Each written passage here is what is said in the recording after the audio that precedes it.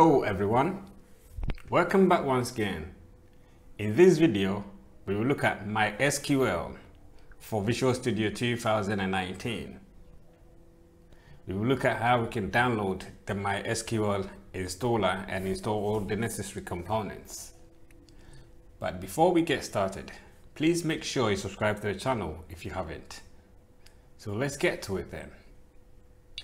MySQL is a relational database management system, RDBMS, based on a structured query language, which runs virtually on all platforms, including Linux, Unix, Windows, etc. And it's also an open source software. So, MySQL is, a, is based on a, server, on a client server model and its core is the MySQL server, which handles all the database instructions or commands. MySQL is also available for separate programs in a client-server networked environment and can also be embedded or linked into a separate application. So, in this video, we will also look at MySQL Workbench so MySQL Workbench is just a unified visual tool for database architects, developers, and DBAs. MySQL Workbench provides data modeling, SQL development, and comprehensive administration tools for server configurations, and so on. So to get started, obviously, we have to open a, a browser. I've got this one here, Google, and we have to type in MySQL installer. So once we actually do that, then the first result, as we can see here, download MySQL installer. So that's exactly what we're going to do. So once we click on that, just wait for it to load. So it will we'll be actually taken to this page, MySQL community download. So what we do is actually click on the first bit, the Windows X, I mean x86 or 32 bit. So you select which one is actually applicable to what system you're using, right? So we just click on this bit here, download. And here you can, you can say no thanks. And this will actually start the download process, right? So I'm not gonna, I'm just gonna cancel it because I've already got it. So what I'm gonna do is just gonna pull it up. So once you actually download it, download it you have then you click on run. So that's what I'm going to do. So just in a set okay I'm just going to do it from here anyway.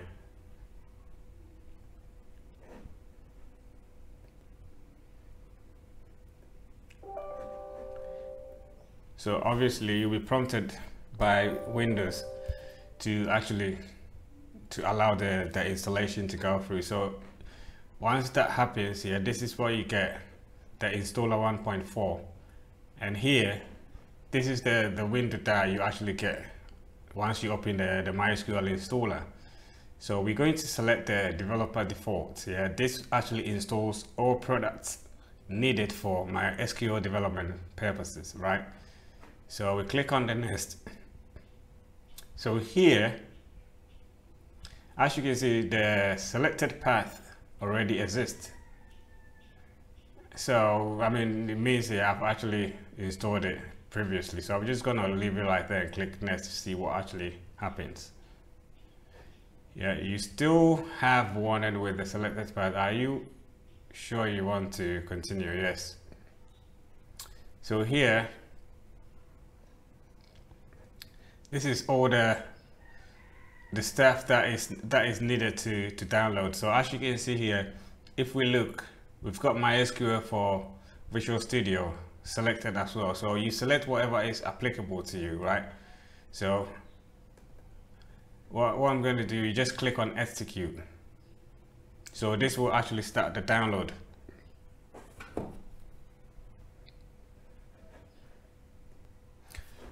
So as you can see, yeah, we've got all the necessary downloads going on. So I'm just I'm just gonna pause the video while the whole thing completes, yeah? So you can click on here just to show more details. Okay, so we've got all the all the components that I've actually selected downloaded. So what I'm to do is just gonna close the Visual Studio. So now what we do is we click on the nest. So here here we can we're going to install whatever products that we actually um, whatever product that is ready to install. So we click on execute. So we just wait for all the necessary all the selected products to install. So I'm just going to pause it while the whole installation completes. Okay so we've got um, this um, the installation completed so we click on the nest. Yeah? So here we can click on the finish. Right so we get this shell.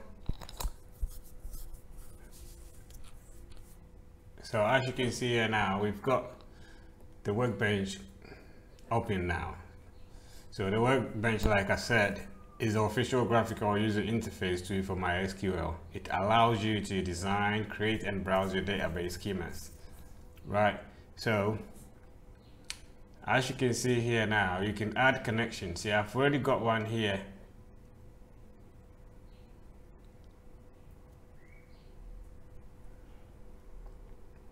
So it's, it's actually saying no connection established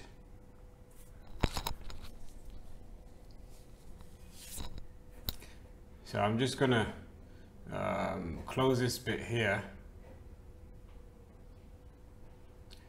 close this one. So what we're gonna do is just open the MySQL installer again. So MySQL installer community, we open this, this one. So on the MySQL server side here, we click reconfigure. So here we leave the configure type as a development computer and we leave the port and the whole, all the information is pretty much the same. Then we click on the nest. Yeah here we're just gonna leave it nest. So we just here I've, I've already created a password but if you don't have a password obviously you'll be prompted to create a new pass password and confirm it. So I'm just gonna put the password that I created with yeah? So I'm just gonna check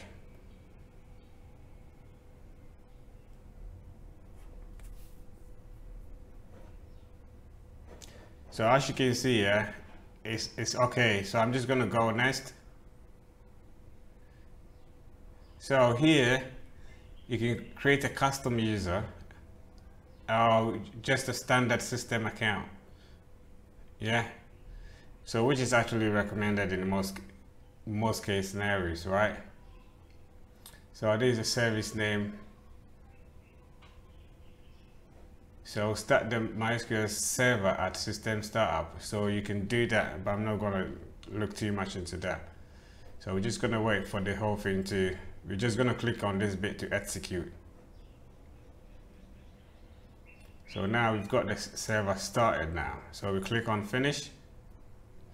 So now we can come here and open the, the MySQL workbench. So we just type workbench. So we open the workbench so now we can click on this and then you enter your server password. And as you can see here now, we've got the service open now. So what we do next is go inside the Visual Studio. So once we click um, continue with our code, so we open the Server Explorer and add new connection. So as you can see, the, the, the, first time after the installation, you get this MySQL for Visual Studio configuration update. So this is actually a change in the installation of connector.net has been identified. You want to execute the configuration update? So you click on the next, yeah? So you accept. So as you can see here now, you can, you, you can actually, you can see that the the changes is being taken effect. So we just wait for a while. I'm just gonna pause it while it, the whole thing completes. So now, as you can see, you're gonna have to restart the Visual Studio for the changes to take effect. So I'm just gonna close it and restart it. So reopen it.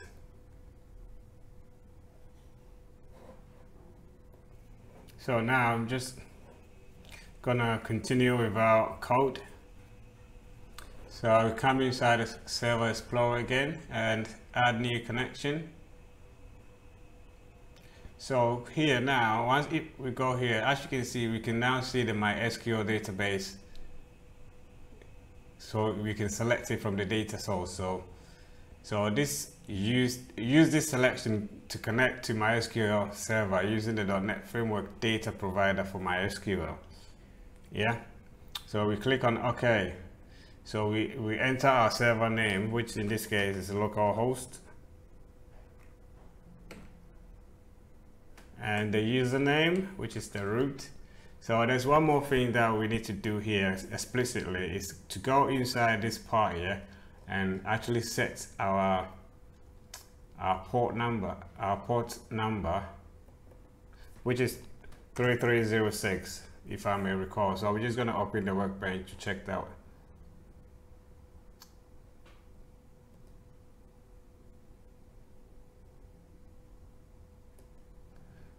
Yeah, so it's 3306. So you click OK. So you enter your password.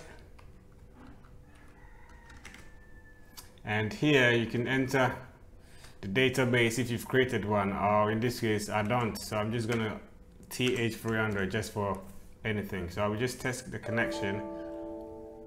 So it's not connected. So we click on the OK. So the database C300 does not exist or you do not have the permission to see it. So we just click yes to create it. Click OK. So as you can see, we've got the database created now. We can expand it. So as you can see, we don't have any tables or stored procedures or stored functions inside them. But this is at least how you can actually get started. So I'll leave um, the video here for now, but on the next video on this topic, yeah, we'll look at actually building a database project inside the Visual Studio for MySQL, right? So once again, if you haven't subscribed to the channel, please make sure you do because I've got loads of videos coming up. And I hope you have a lovely morning, evening, afternoon, wherever you are. Peace.